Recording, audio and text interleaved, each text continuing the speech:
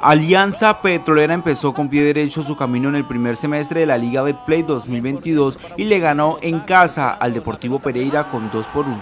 El director técnico en la máquina amarilla dio un análisis de lo que fue el partido. Vimos un Pereira que, empezó con ímpetu, empezó con, mucha más claridad en el juego que nosotros.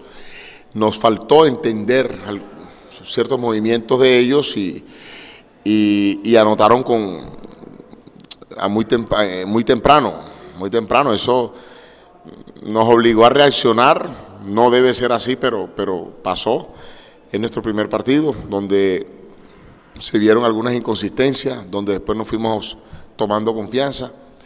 Eh, y al final yo creo que el equipo le fue dando el manejo al partido que necesitaba para, para conseguir su resultado. Eh, vamos a, evaluar, vamos a evaluar muchas cosas y, a tomar las mejores decisiones para el próximo compromiso. El Deportivo Pereira empezó ganando al minuto 3 del partido, tiempo después con un gol de Rubén Manjarres, se dejó empatar de Alianza. Nos costó el inicio del juego, primer tiempo.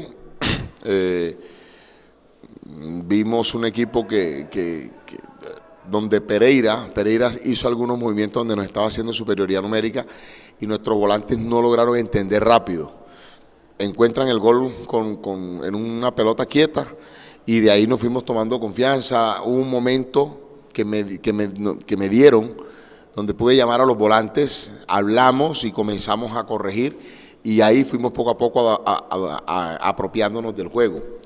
Eh, pudimos empatar y, voltear el resultado. En la próxima fecha, Alianza Petrolera tendrá que visitar al recién ascendido de la Unión Magdalena el día jueves 27 de enero.